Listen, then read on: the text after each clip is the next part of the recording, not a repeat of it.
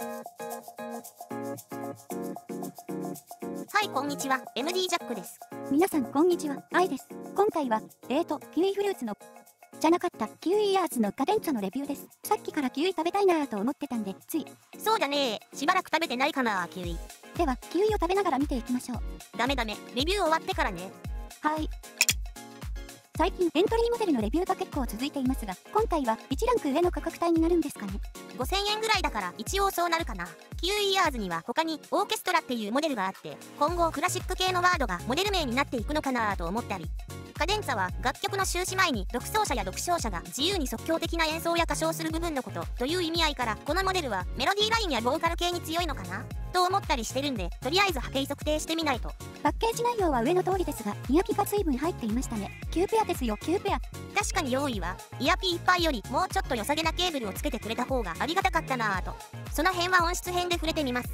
大きさは丸っこくて小ぶりです。シェルはゴール医療グレードの樹脂製で軽いですね。片側実測 3.9g でした。装着感は問題なくフィットしましたが、密着感は今一つでした。個人差あるところですが、気になるほどではありません。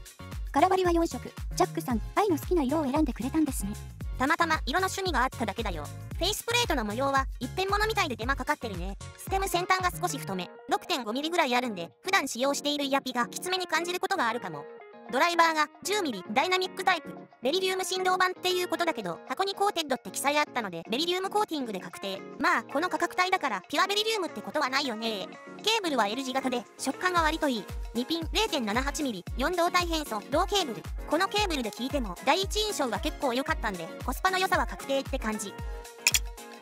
今回のサウンドチェックは最近レビューした T-Hi-Fi C2 と一緒に聞いてみます。音の傾向が結構違うので、比較にはちょうどいいと思ったんですが、いいんじゃない？イヤピワタンジジム TAPB トレブルをカデンツ付属のケーブルを両モデルに装着し音収録しました。ではどうぞ音量上がります。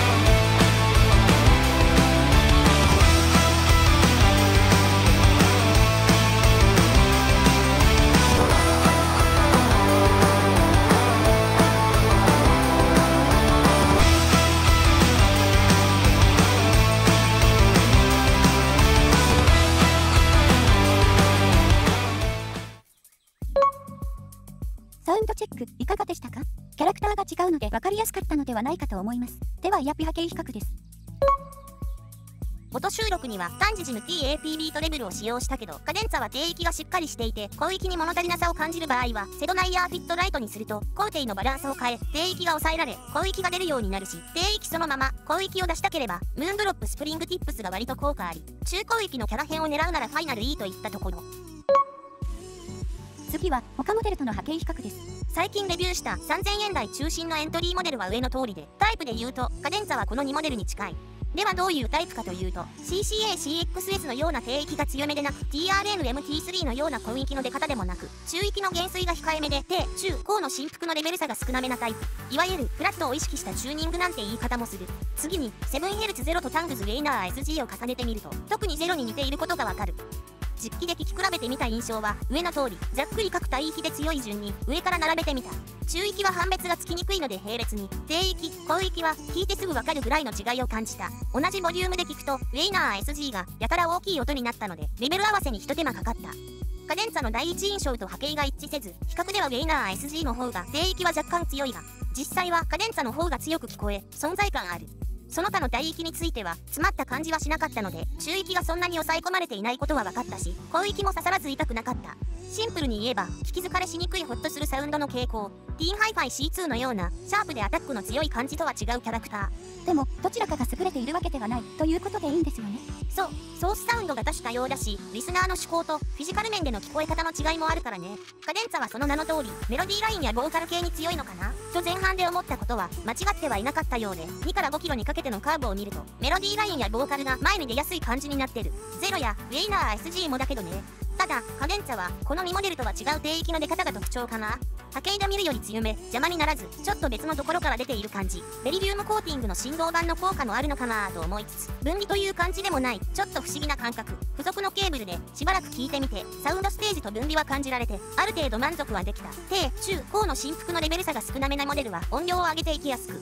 しっかり音量を取ることで、その進化がわかる気がする。もうちょっと良さげな付属ケーブルだったらって前半で言ってましたが限界が変わったんですか？そうだね。ちょっと変わった。リケーブルでバランス接続にした時はさすがに奥行きと広がりの差を感じたけどアンバランス接続でリケーブルした場合に最初に感じるのは同じボリュームでのレベル差で音が大きくなった場合はそれだけで迫力が出て改造感が増してなんていう風に感じてしまうんでそこを合わせてやると変化幅が少なくなる場合が多いのとモデルによってその変化幅も違う。今回はあまり大きな変化を感じなかったかな。